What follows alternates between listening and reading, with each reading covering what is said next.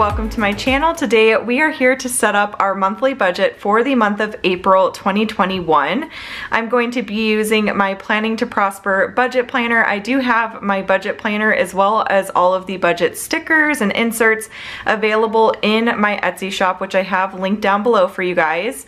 And I also recommend if you have not watched it already, I would watch the Prosper Budget Method Explained video that just went up a couple days ago this past Sunday before watching this video potentially because we're kind of switching up things a little bit, not entirely because we've kind of always done this, but now it's more like official, I guess you could say. So yeah, so we're gonna just get started by setting up our monthly view as per usual. I'm gonna speed through that process. I'll put on some music for you guys and then we're gonna come back and get our monthly budget set up. We're also going to be stuffing our cash envelopes for the month today, so lots to get through. So let's go ahead and get started by getting the monthly view set up and ready to go.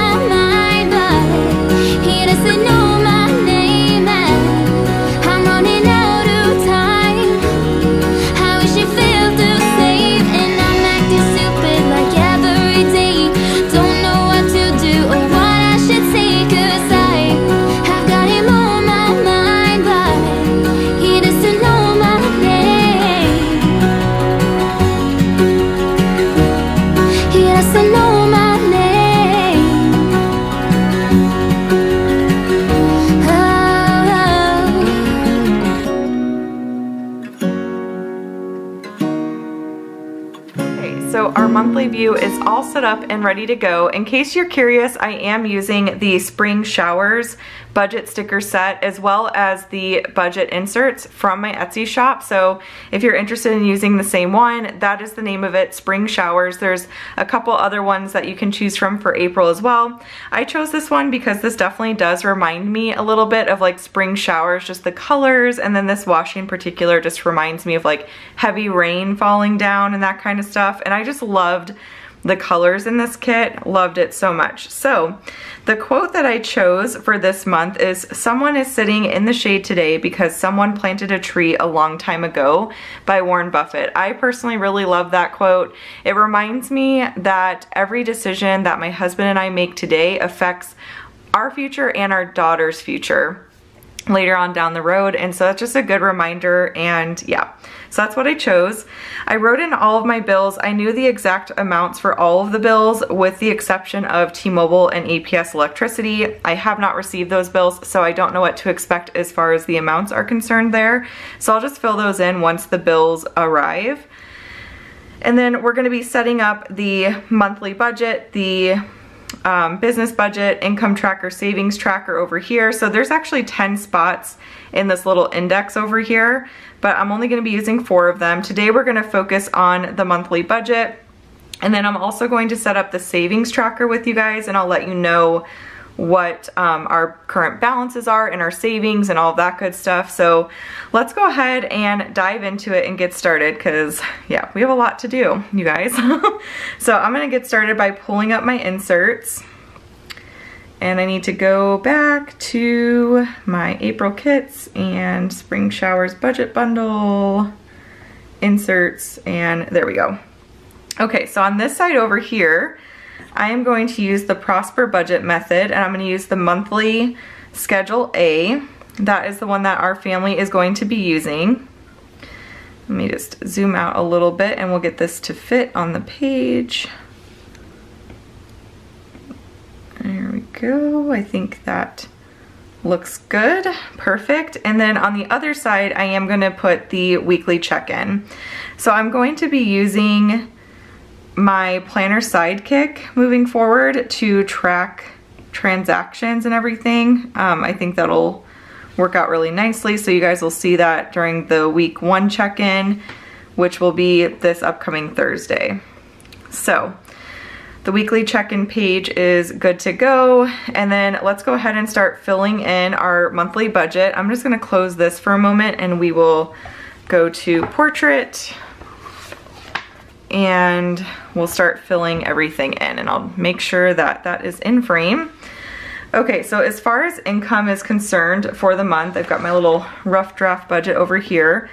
So part of the Prosper budget method, method is getting one month ahead. So our income that I'm gonna put in here right now is the income that we earned in the month of March between my full-time job as well as my business. So that amount that we're gonna be working with this month and it was transferred over and that is way too thick. Let me change my pen here.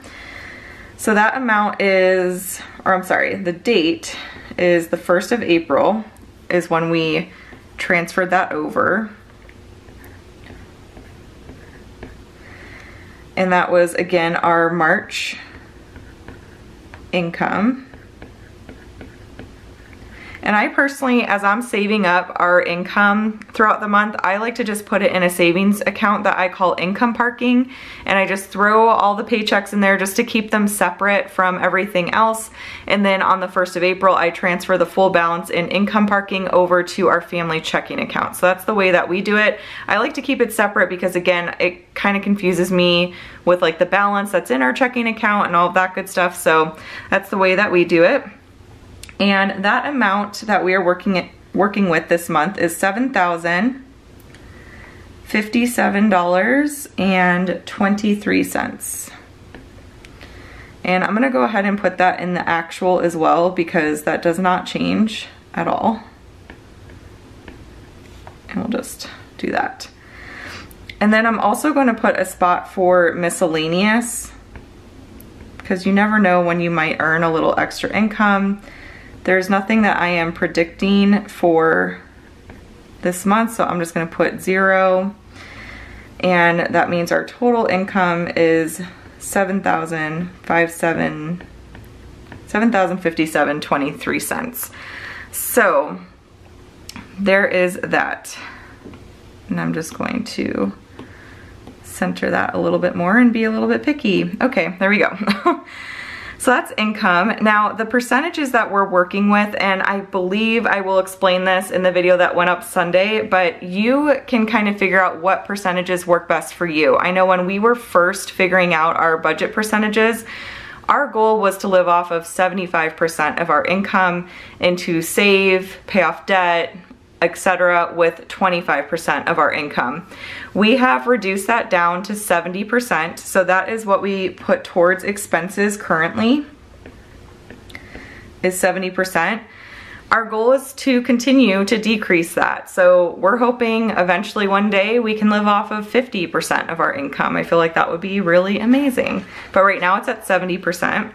So what I'm gonna do to figure out the amount is I'm gonna take 7,057 and 23 cents and I'm gonna multiply that by 0.7.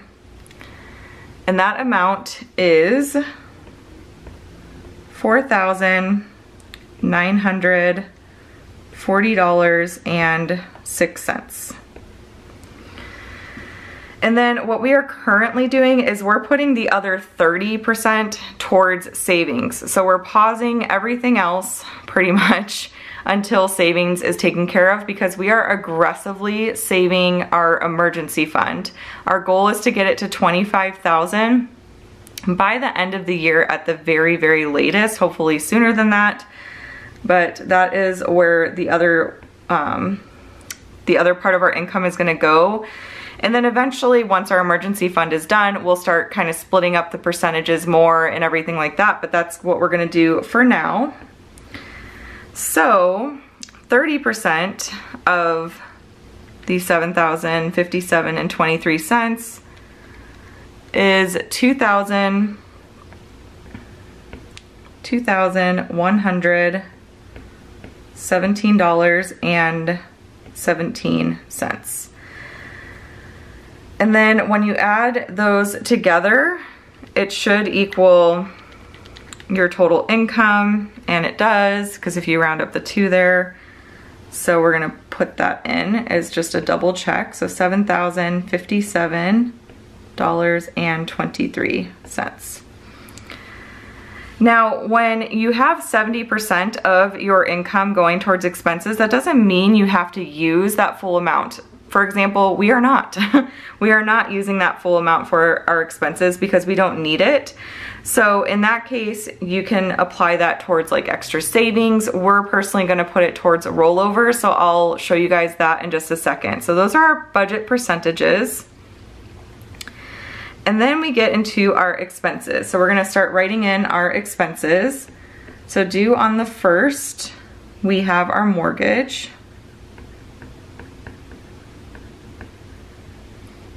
And that amount is $1,563.28. And then also on the first we have our HOA.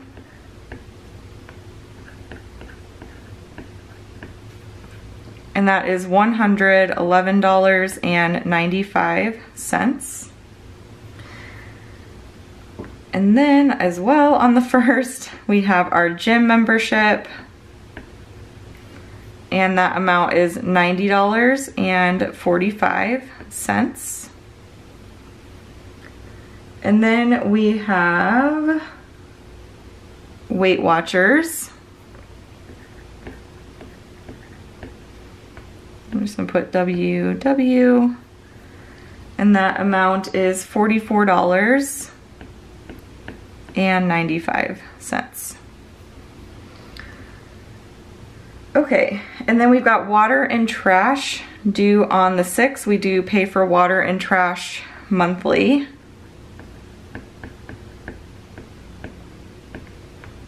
Water and trash. And I did receive the exact bill for that, and that was $87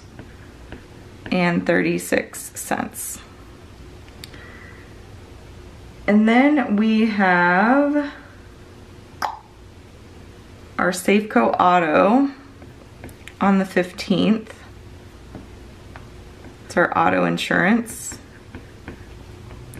Safeco Auto. And that amount is $67.95. Also on the 15th, we have our State Farm life insurance.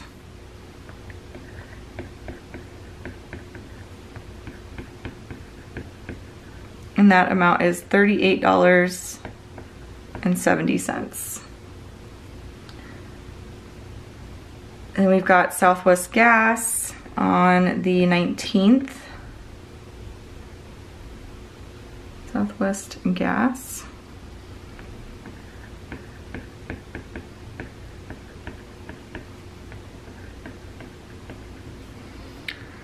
And that amount was $26.50. So that's heating for our house as well as our oven and things like that.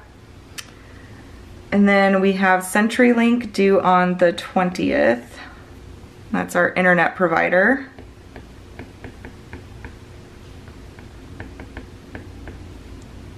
For $65.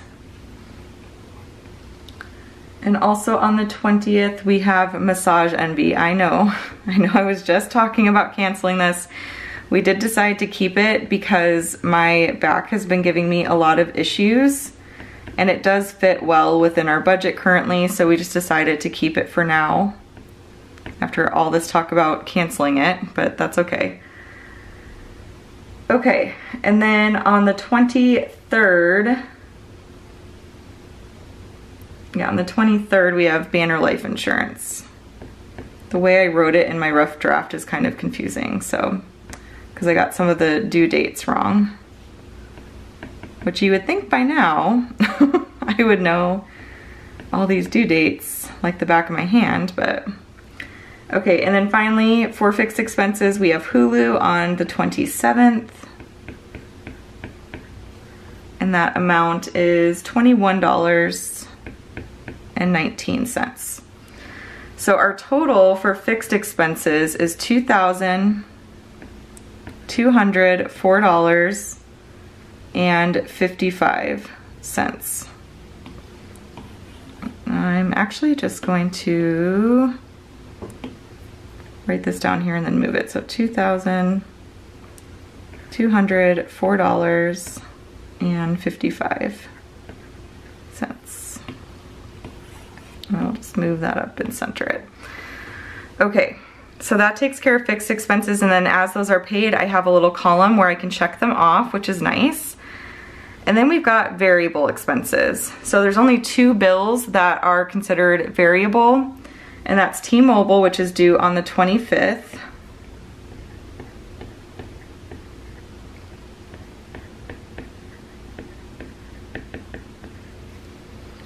And we're gonna budget $140 for T-Mobile. And then also on the 25th, we have APS, and I honestly like have no idea what to expect from APS, so I just keep overestimating, even though it's been super low. I just, I don't know, I'm weary about it, so. And then that's it for bills. So then we've got our variable, variable expenses like grocery, and we're budgeting $500 for the month. And then stay tuned because next week, I believe next Tuesday, I will be sharing our April monthly meal plan and grocery haul with you guys. So very exciting stuff. And then we have gasoline, which gas has gone up in our area, but we don't really drive anywhere. So we're gonna keep it at 100. And then we've got eating out.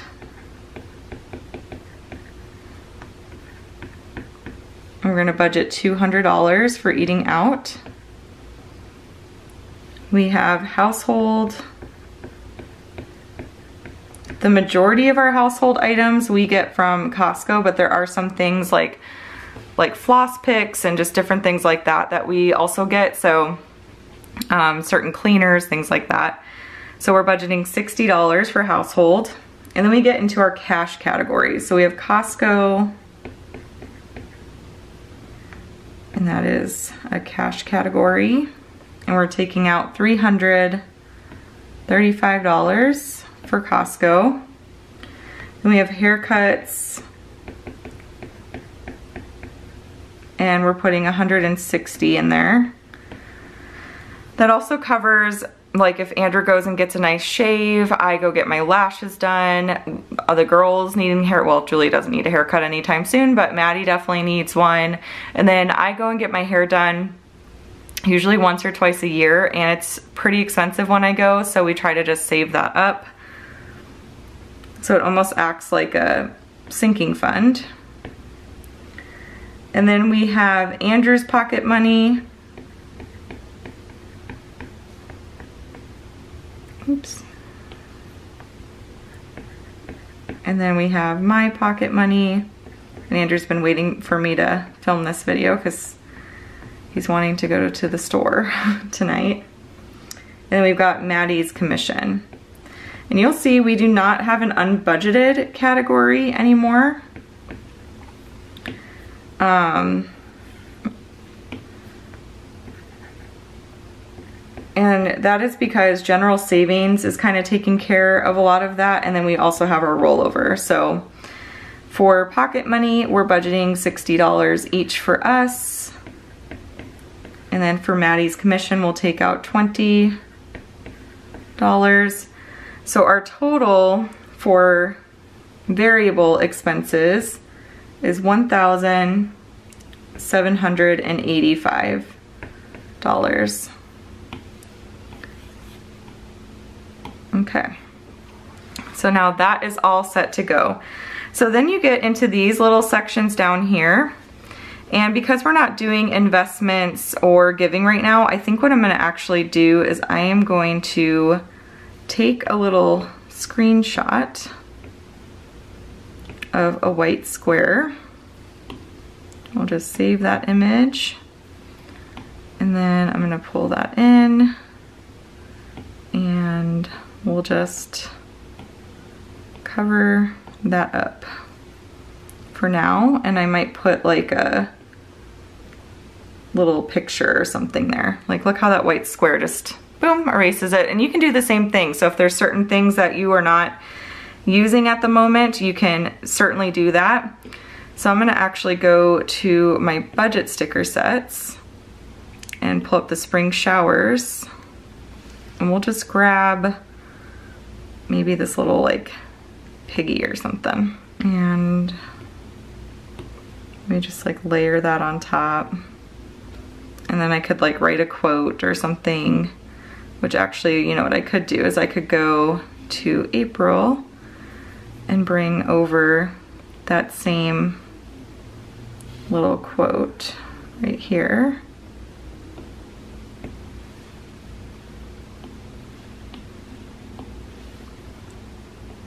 And we'll just put that there. And then there, now we've got like a little little filler for that space at the moment. So our two categories for savings are general savings and our emergency fund. General savings essentially serves as like a spot for just sinking funds type of stuff. So clothes and school supplies and different things like that will come out of our general savings. So the idea is too that once we're done with our emergency fund, we will be putting quite a bit of cash into our general savings and then we will be investing as well and giving and all that good stuff. So for general, we're putting zero dollars towards that this month. And then we're gonna put that full 2000 I can just copy this. And we're gonna put that full 2017 towards the emergency fund.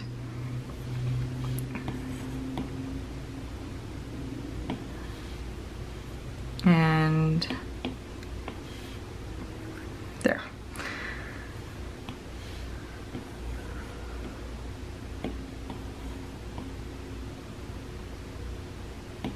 Okay. So our total going to savings is 2,000 $11 or $2,117.17 is our total there. Okay, so now we can do our month end results down here and figure that out.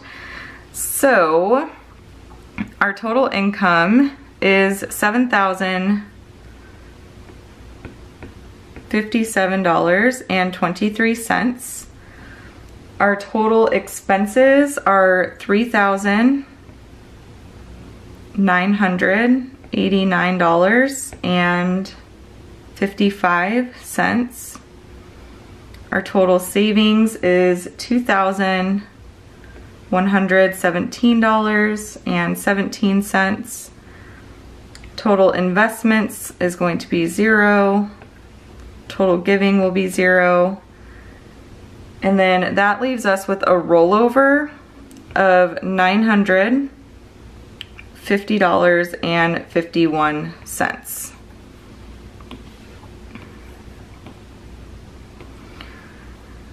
And then the rollover, that will just go towards our next month's income.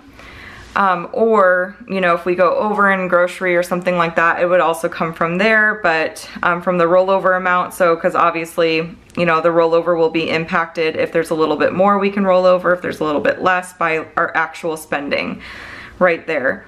But that is our monthly budget. So again, we're gonna be using budget percentages moving forward. This is something that we have always done. We've just never officially like put a name to it or anything like that. We just have always had sort of a goal and we didn't like track it, track it super um, strictly or anything like that. But yeah, so that is how that is going to work. And the reason why I like this method, and there are tons of different methods out there. There's so many. There's Dave Ramsey. There's a bunch of financial gurus that have their own methods and styles of doing things. I just wanted to put a name to what we personally do. So if it's something that you're kind of wanting to do and implement as well for your family, you can. And finances are super, super personal, you guys. You have to just do what works well for your family. My method is not like the right method. I just wanted a way because we would really stress about well, what are we gonna prioritize this month and all that kind of stuff.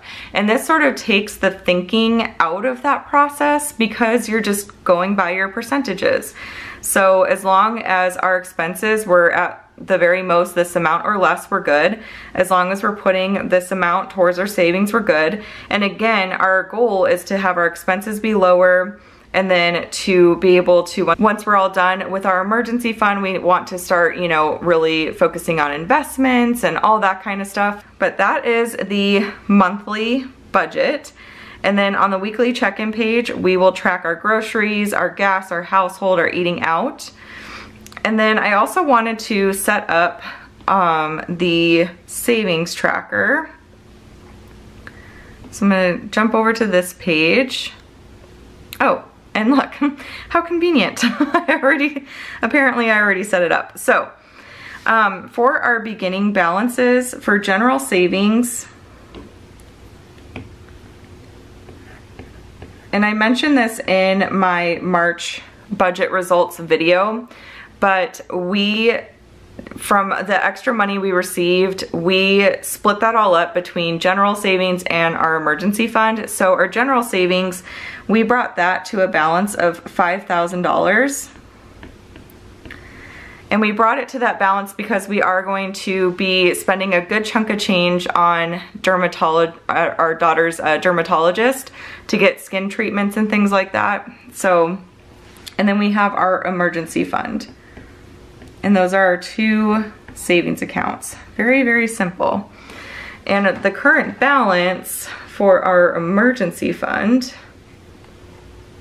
I don't even, I forgot to write it down. I think it's 15,000, or no. It was, hang on one second, because this is before I put, I already put the money in there, so um, I need to do the current balance minus 211717. Okay, so the beginning balance of the emergency fund is thirteen thousand four hundred fifty-four dollars and 78 cents and we are adding zero dollars to the general. And for our emergency fund we are adding $2,117 and 17 cents. And then so our current balance in our emergency fund is the $15,571.95 and that's again because I already transferred that money over. So if we end up putting more in for some reason or whatever it may be, I'll mark that. But this transaction log over here is mainly to track any activity in our general savings account. So we kind of treat that as like a big lump sum um, sinking fund, I guess you could say. So we used to have like probably 20 separate little sinking funds and I just honestly got a little irritated tracking each individual thing. It just felt very tedious to me personally. And so I decided to lump everything together. A lot of you guys actually gave us that idea and Andrew really liked it. So we tried it for the first time last month. We felt it went really well. So we're doing it again this month. And I just feel like it's simplified our lives so much. Like you have no idea, so much. so, and I feel like we're not like going overboard or anything like that. Um, again, like our goal is going to be to put big chunks of money in there consistently every month and just let it build and build and build and it'll cover lots of different things. So there you have it. So that's a savings tracker. The next thing we're gonna do now that we've got everything set up, and I feel a little all over the place at the moment because this is the first time that we've like used this specific budget tracker and stuff. So, um, okay. So we're gonna stuff our cash categories, which are right here. And I've got all of the cash right here. So I'm gonna put the cash in two specific places. Let me grab, I'm just gonna separate this out. And I'm gonna put some of the cash in here, and then I'm also going to put some of the cash in my actual purse with my cash dividers. So for Costco, that is actually going to go in here because we are going to let that build up. There are some items that we will be getting at Costco on a monthly basis, but most of the money will be saved to go and do a like big quarterly Costco haul. Um, our next one will be in June and I, I will be filming our large quarterly Costco hauls in addition to like our monthly hauls and things like that. There's not a ton that we get monthly from Costco, really just like Greek yogurt, eggs, you know, things like that. And then if there's like a particular sale um, item that is a really good deal, we'll pick that up. Um, it's kind of a way for us to not miss the sales as well. So for Costco, we're actually gonna put 400 in there because we had $65 left over from last month and instead of pulling out the 65 separate, I just pulled it out with everything else. And so if you add 65 to the 335, you have 400. So I'm just gonna put the 400 in that little Costco section right there. So there it goes. And then, let me see if I can like set that off to the side or something. I don't know. Okay. And then we have haircuts for 160. So for this, I took out some change as well. And let me just pull the haircut money we already have so I can combine it. So the haircut money we already have is 20, 40, 50, 60, 65, 70, and then we're putting another 160 in. So I did five 20s, so there's a 100, and then I did four tens, so 140, and I did four fives for 160. So let's go ahead and add that. And you know what? I'm gonna just move this over for now because it's all, all up in my space. so, okay, so the fives are there, and then the tens are there, and the 20s are there.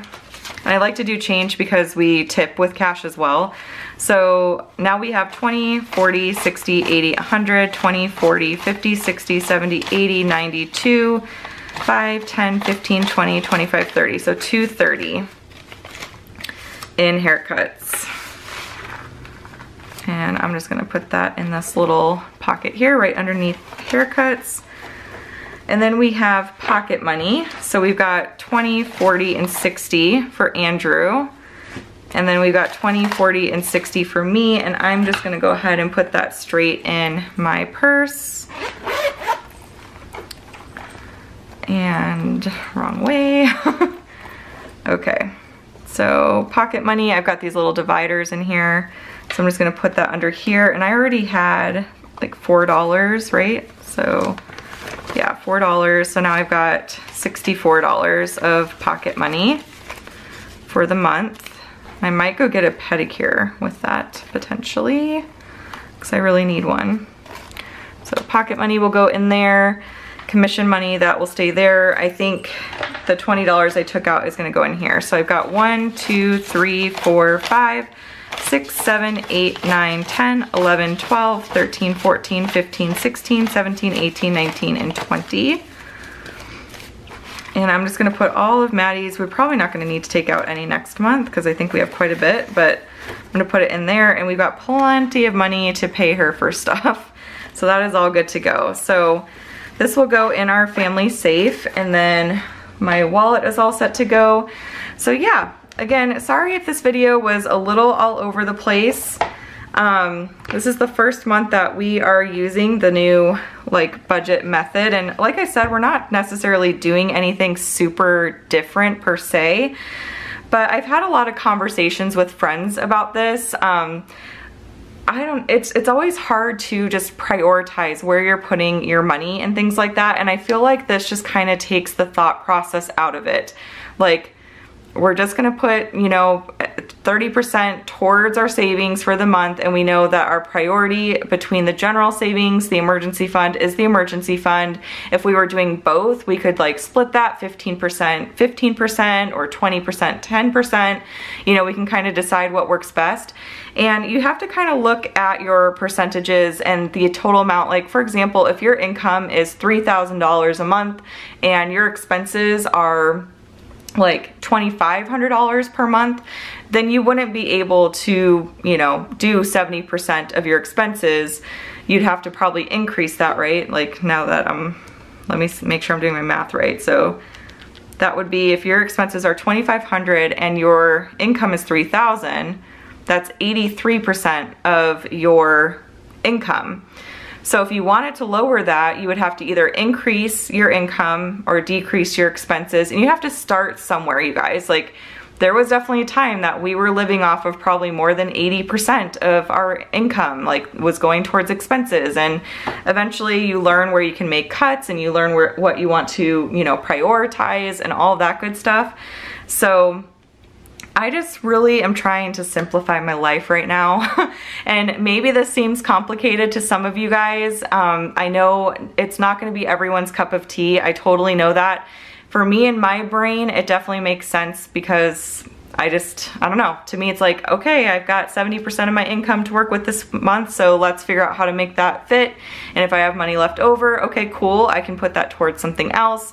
It's just, like instead of having all these little tiny sinking funds everywhere and figuring out like where I, how much I can put towards the emergency fund and like, oh wait, but you know, I have to fill up all these sinking funds too. Like it's just, I don't know. I feel like this takes a lot of the thought process out. I don't know if that makes any sense. I'm starting to get late. It's like almost nine o'clock and my brain starts to malfunction around this time. But I hope that you guys enjoyed this video. If you have any questions, definitely let me know. And like I said, if you haven't seen my video that I posted a couple days ago all about the Prosper budget method, definitely check out that video because that goes into much more detail. The whole thought process behind this, how it works, what the different steps are, and everything like that.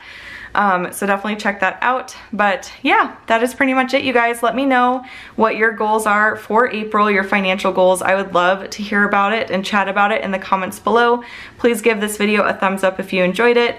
Please subscribe if you have not already done so to catch my future videos, and I will chat with y'all later. Bye!